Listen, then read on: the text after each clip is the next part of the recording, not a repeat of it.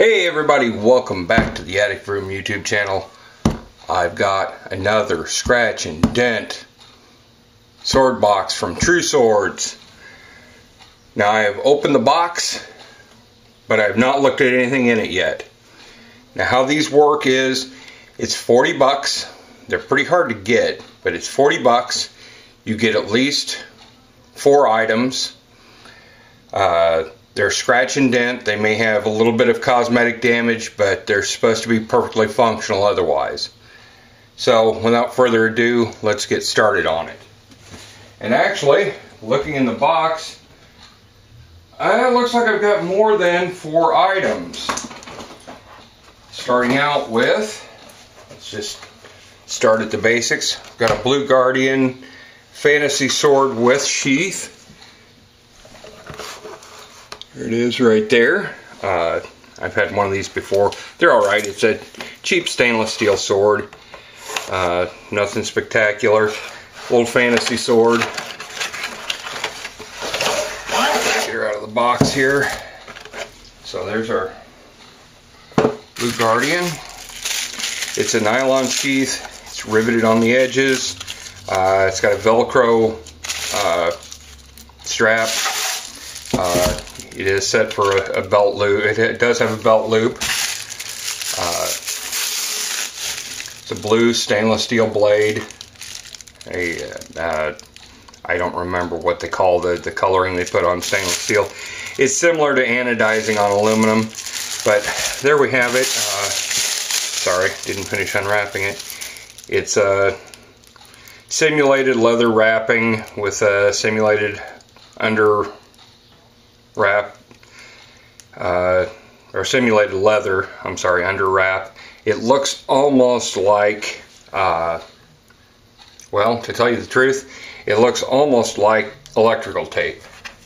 But there we have our first item in the scratch and dent sword mystery box.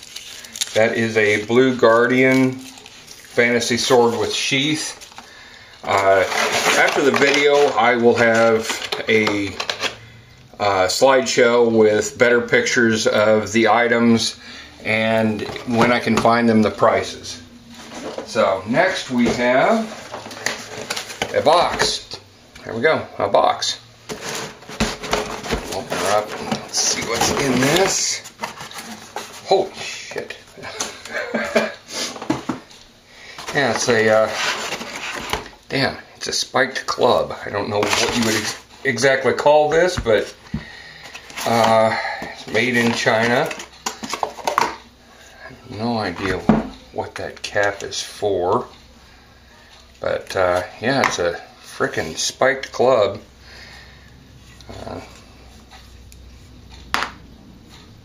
fantasy club basically, but these are hard, sharp steel points so it's not that much of a fantasy or cosplay piece, but man, that's freaking evil. And it's got some heft to it, some heavy steel or iron banding on it, spike at the top. That would uh, really, really mess up somebody's day. That's all I can say about that. Uh, there is no manufacturer. The, the box is marked Bucks, or Buck Knives, I'm sorry. Well, the box is inside, but there's no identifying markings on the package itself other than the scratch and dent item identification. So, yeah, it's hardwood, iron bands, iron or steel spikes. That's definitely an argument ender right there. So, let's see what's next. Next up we have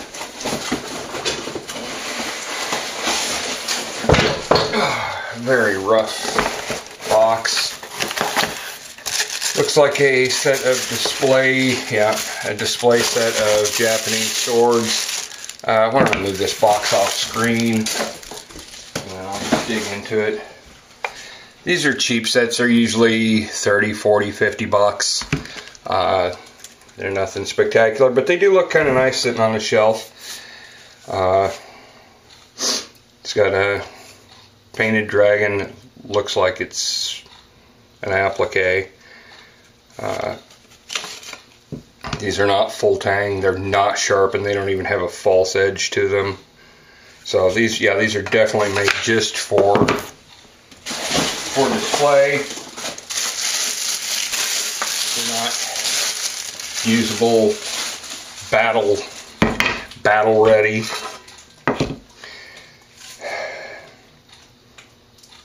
We've got a fake hamon. Uh, they're stainless steel, at best stainless steel. Cheap furniture. Yeah, they're just, like I said, they're just cheap shelf sitters. And katana from the set.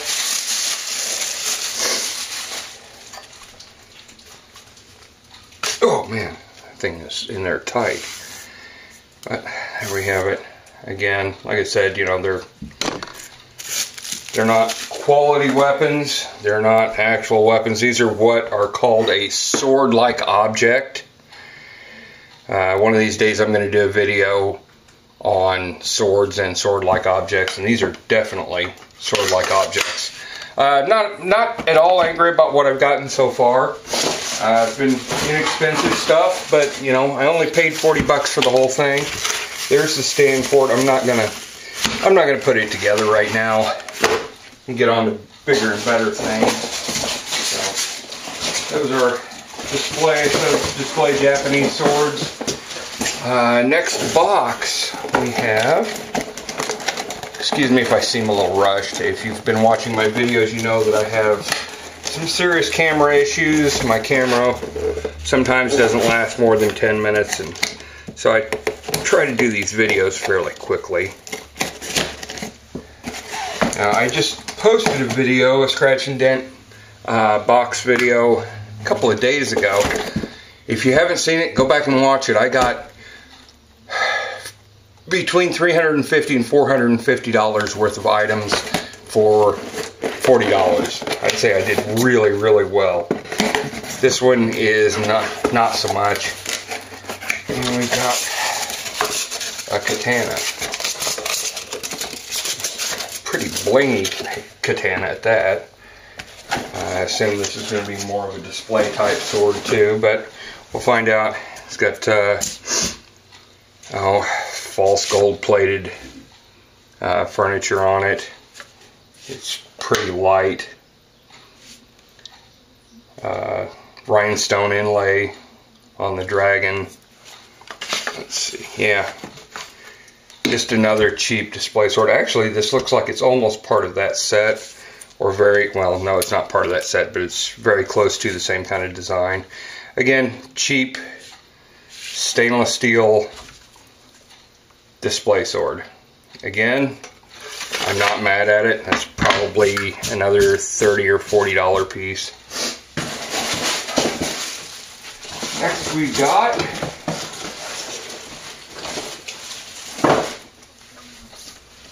tell you this right now, will not be a display piece. Pretty sure it's probably a Shinwa. It's much nicer.